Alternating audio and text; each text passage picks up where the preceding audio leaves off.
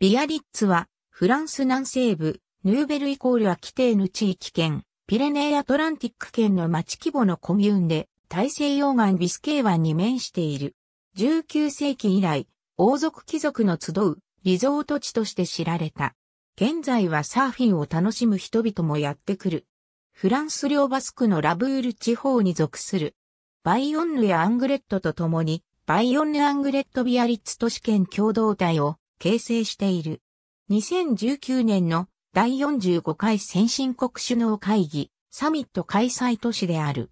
キュービッラ・ウジェニー、現在のオーテル・デュパレ12世紀以来、捕鯨を制御とする小さな漁村であった。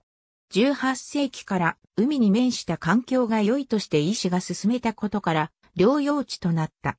1854年、皇后ウジェニード・モンティジョが別荘を建てたことから、にわかに脚光を浴びた。イギリス王家は定期的に休暇に訪れるようになった。イギリス女王、ビクトリア、イギリス王エドワード7世、スペイン王アルフォンソ13世といった人々が頻繁にビアリッツを訪問した。下記の言葉がある。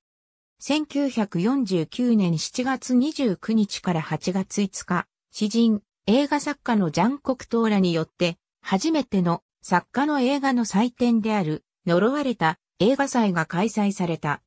翌1950年には、第2回映画祭が開催され、その後は開催されていない。マリンスポーツとラグビーの盛んな街として知られている。波の高さのピークは秋から冬にかけてであるが、年間を通してサーフィンが可能であり、ヨーロッパ各国や世界各地からサーファーが訪れる。ありがとうございます。